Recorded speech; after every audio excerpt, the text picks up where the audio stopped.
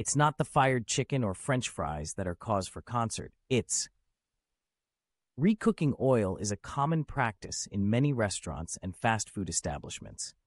The process involves straining out any food particles and debris from the oil, then heating it up again for reuse. While this may seem like a cost effective way to extend the life of cooking oil, it can actually be harmful to your health.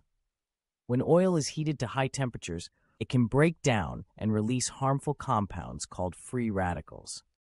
These free radicals can cause oxidative damage to cells in the body, leading to inflammation and an increased risk of chronic diseases like heart disease and cancer. In addition, when oil is reheated multiple times, it can become rancid and develop a foul odor and taste. Consuming rancid oil can cause digestive issues like bloating, gas, and diarrhea. To avoid the negative health effects of recooked oil, it's important to use fresh oil for frying and to discard it after each use.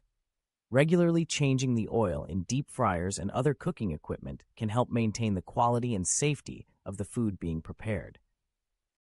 In conclusion, while recooking oil may seem like a convenient way to save money, it's important to prioritize your health and avoid using oil that has been reheated multiple times.